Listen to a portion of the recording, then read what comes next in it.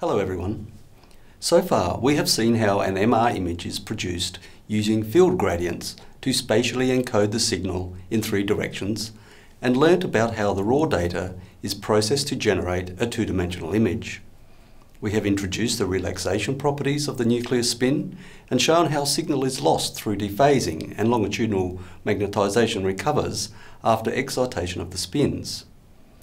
In this final video on the fundamental principles of MRI, we will describe how those relaxation processes provide us with a mechanism to manipulate the contrast between different tissue types within the image. We know that the intensity of the MR signal is directly proportional to the number of protons in the sample, and in particular, the net magnetisation formed by these spins. And so the image signal that we produce is essentially a map of the water density at each location.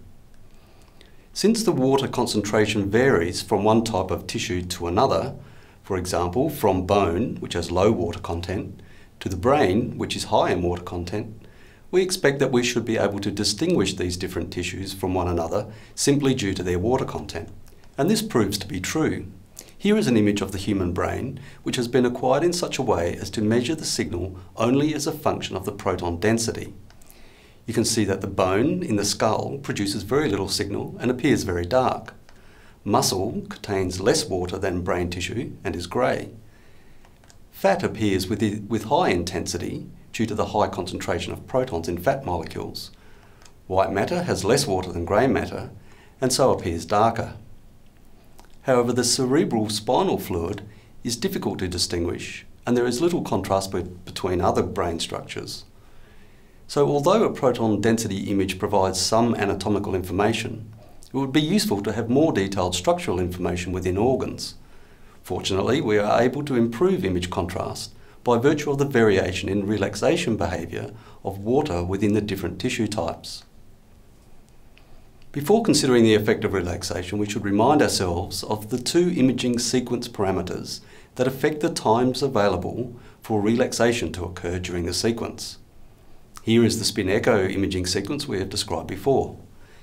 The period during which transverse relaxation occurs is between the 90 degree excitation pulse and the maximum of the echo that is formed by the 180 degree refocusing pulse, TE. The longitudinal relaxation occurs immediately after the 90 degree pulse and continues until the 90 degree pulse of the next phase encoding step is applied and includes the time for the spin echo to be acquired and any waiting time between the increments. This is TR. So let us look at the effect of the water T2 relaxation time on the signal as a function of TE. Here we look at three tissue types with different T2 values. A long T2, such as in CSF, shown in orange, a medium T2, such as in brain tissue, shown in green, and a short T2, such as in muscle, shown in blue. As the TE time increases, allowing more time for T2 relaxation, the echo magnitude and the image intensity decreases at differing rates for the three tissues. You can see that at a TE of around 100 milliseconds, the relative intensities of the three tissues are quite different. But at very short and long TE times, the intensity differences, or the contrast, are not as pronounced. We can use this effect then to optimise the contrast between tissues in a so-called T2 weighted image by selecting the appropriate TE time. Here is a T2 weighted brain image. With T2 weighting, we see that the CSF gives a bright signal as it has a long T2 because it consists of highly mobile fluid. The white matter appears relatively dark due to its shorter T2, and grey matter, which has a longer T2, can be delineated from white matter we now see much more detail of anatomy and can identify more structures in the brain than in the proton density image. We now look at the effect of T1 relaxation on water signal as a function of the TR time. Here we consider the amount of longitudinal magnetisation that has recovered along the z-axis after a period of TR following a 90 degree pulse for tissues with a short, medium and long T1 relaxation time ranging from 400 milliseconds to 2 seconds. we see that for a short TR of 400 milliseconds, all tissues give low signal intensity. At medium TR of 1 second, the contrast between the three tissues is at its highest, and at long TR values, the three tissues have almost completely relaxed, and although signal intensity is high, the contrast between them is low. The inversion recovery T1 sequence allows us to improve the contrast between tissues and selectively suppress the signal for tissues of a particular T1 value. To remind you of the inversion recovery experiment, a 180 degree inversion pulse is applied to the spins, then we wait a time for T1 relaxation to occur, here called Ti for inversion time, and then the spin echo imaging sequence is applied to image the available longitudinal magnetisation, which may exist along the minus z-axis or plus z-axis, depending on the T1 relaxation rate for the tissue and the time Ti.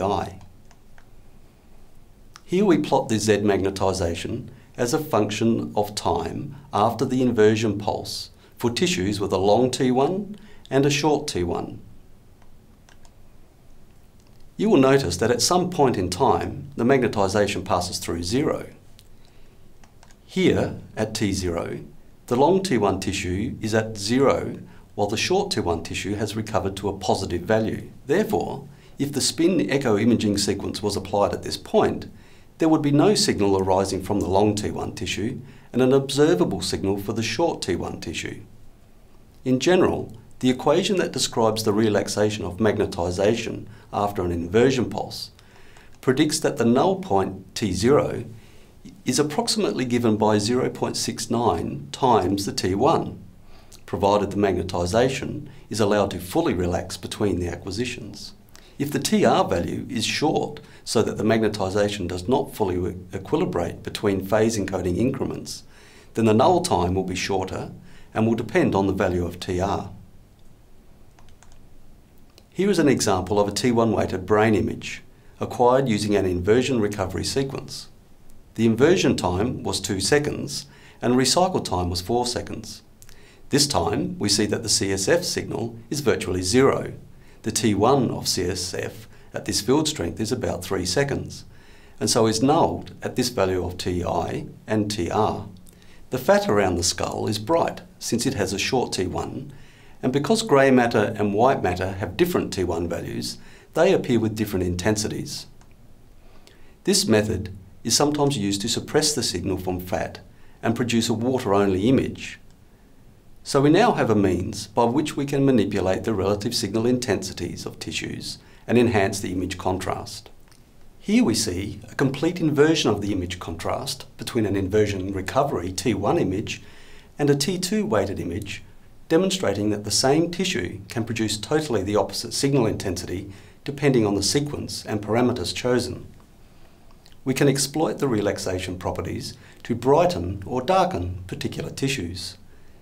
So if a structure in the body appears dark, it does not necessarily follow that there is little or no water present. Most of the MR imaging sequences used in the clinic today are designed to produce contrast based on the principles of relaxation.